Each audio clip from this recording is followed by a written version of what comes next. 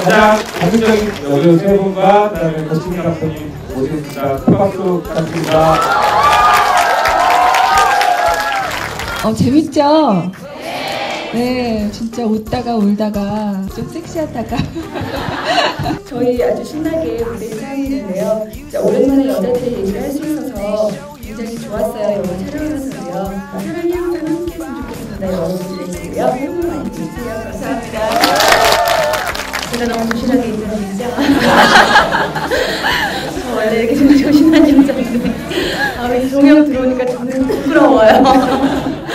아, 어쨌든 영화 재밌게 보신 것 같아서 너무 감사드리고 또 개봉 첫 주에 첫 주말에 이렇게 저희 영화 찾아주신 마음 너무 감사드립니다. 여러분 돌아가시는 길 오늘 빡치기 조심하시고요. 종영후에 이렇게 보면요 자꾸 이렇게 바라보게 돼요. 어떻게 보셨나? 어떻게 보셨나 진짜.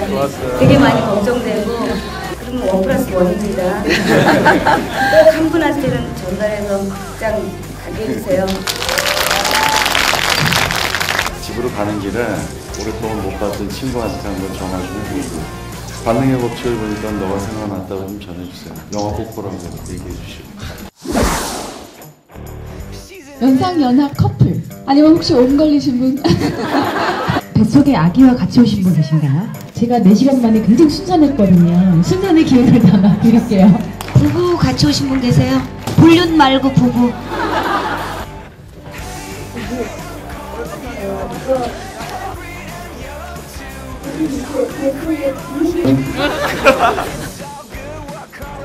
주변에 널리 알려서 더 많은 분들이 함께 즐거워하실 수 있도록 도와주시면 감사하겠습니다. 감사.